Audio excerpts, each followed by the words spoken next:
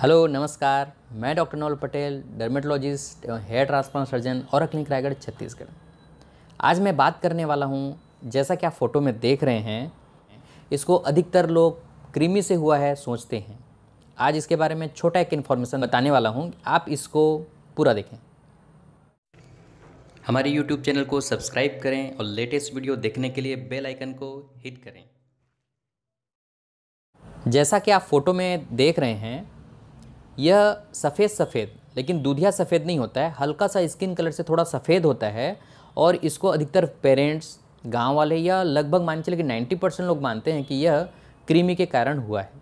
ठीक है कृमि से भी हो सकता है, लेकिन मैं आपको बताने वाला हूँ कि इसका बेसिक रीज़न क्या है। यह एक तरह का एटोपिक डर्मेटाइटिस मतलब एक सूखेपन की बीमारी का एक अंश, एक पार्ट है, जिसमें बच्चों को चेहरे में सफ़ेद दाग जैसे, बाल झड़ने की समस्या, खुजली और सिर में डेंड्रफ की शिकायत हो सकती है। ये सारे एक बीमारी के पार्ट हैं। इनमें आपको करना क्या चाहिए? कृमि की दवा जैसे आपने दिया है तो हर छः महीने में दे सकते हैं। इसके साथ ही साथ में आपको करने की क्या ज़रूरत है?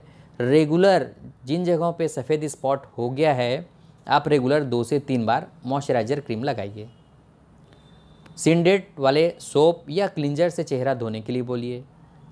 एंटी फंगल सोप या कीटोकोनाजोल शैम्पू का इस्तेमाल आप अपने बाल को धोने के लिए और उसी के झाग को चेहरे में लगा के दो से तीन मिनट रखें।